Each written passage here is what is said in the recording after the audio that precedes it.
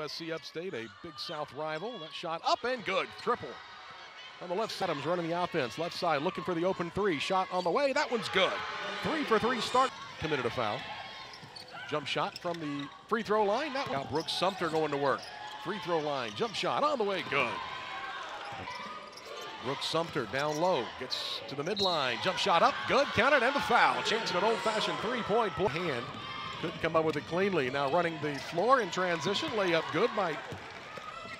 In trouble. Good cut off there by the Catamount defense. Jump shot good by Brooke High Hedge.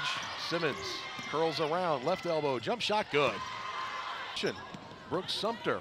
Right side, Simmons. Jump shot good. Yeah, that Dogs one's back with it by blanks. That one won't go. Offensive stick back. That one rolls in good.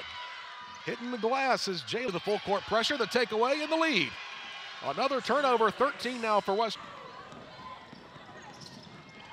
All the way down, layup good. Tried to do some disruption of their own. Right side three on the way is good, and that is again a done a nice job of cutting off that Beans dribble drive. Burton should be a jump ball again. It'll be possession air back on the turnovers. Brooks Sumter dumps it off. Easy bucket in transition by Simmons. Give her 19.